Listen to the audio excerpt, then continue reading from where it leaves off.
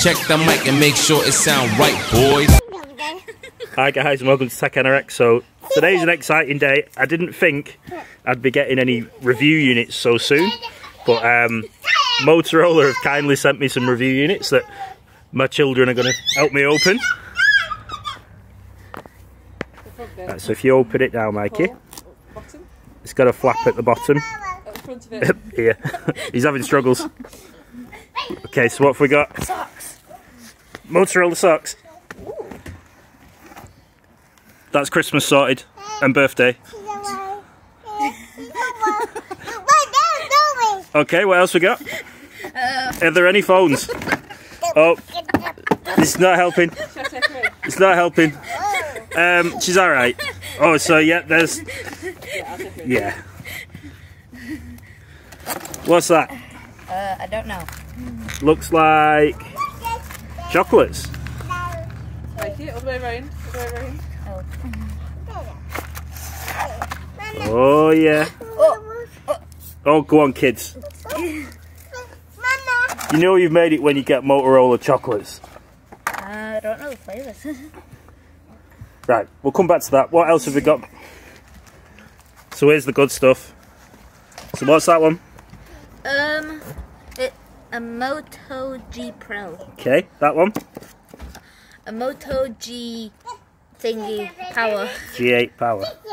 And what's this one? And a Moto E6S. Okay, and we've got some blue pasta. Yeah, blue pasta. Cool. What else we got? Um, Moto G um things. Uh, rocks, rock sweets, um, and some other rock-looking things. Great. So, yeah, shout out to Motorola, like blown away. So these have got to be the Tech Anorak socks, as they have a wear orange. I've even got a, a spare pair there. So yeah, I'll be reviewing these over the next um, few days, guys. And um, yeah, let me know what you think in the comments. Uh, I'm interested to try all of them really, but this boy I'm because most it's got the. interested in trying the chocolates. He's most interested in trying the chocolates, but this dude has got the stylus, so I do like a good um, stylus from the Samsung Notes. So we'll see how that compares.